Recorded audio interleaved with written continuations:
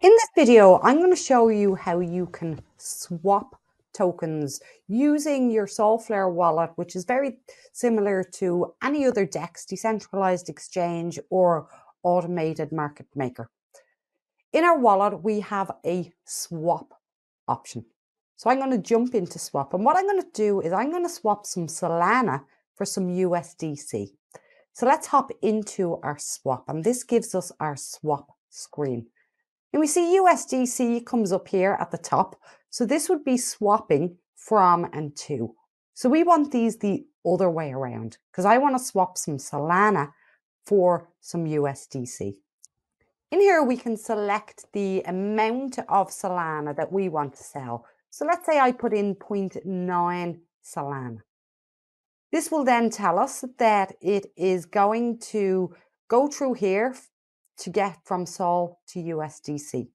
We see how much USDC we have and we have more information. Let's scroll down to the more information. So first we're given the rate. Next we're given the slippage. So this is the difference that you're willing to accept between the price that you enter and the price that you actually get. So in this case, it's a 5% slippage. Now we can edit from in here or we can edit it a different way, which I'll show you now in a second. This is going to show you then the minimum you'll receive based on the slippage. The price impact. The price impact is how much it's going to impact the price of the actual pool. And then you've got this fee discount. Let's scroll up here for a moment and we will go into the settings op option. And this is your slippage settings, the slippage that I mentioned earlier on. So you can set how much slippage it is that you want from within there. So I've changed it up to one, changed it down to 0.1%. So I'm willing to accept less of a slippage and closer to my actual price. So now I have my slippage set. I am saying I want to, to swap 0.9 sol and I'm going to get uh, 30 USDC.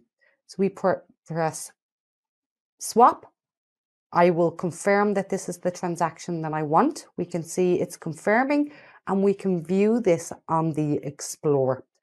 So here we can see the confirmations it's still going through. We can see the signer, we can see the fee. We can also then see the route that this took. So I transferred 0.9 sol. This went through and interacted with the Jupiter aggregator program.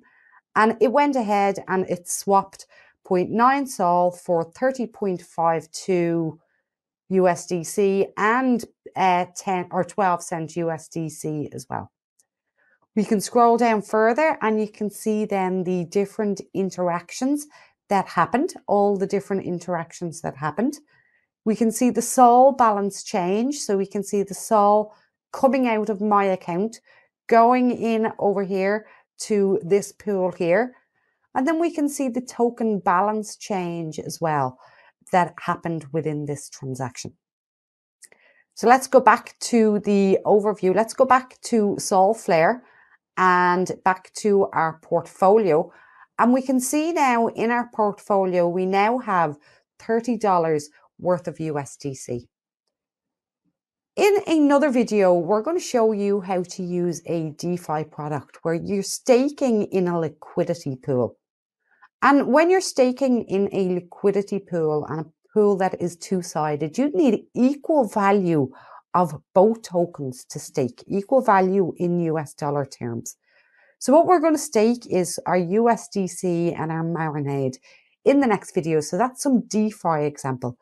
So, do go ahead and swap some of your tokens. If you got some Marinade stake Sol from that particular video, get an equal amount now of USDC or an amount of USDC that you can use in the next example and practice along with me.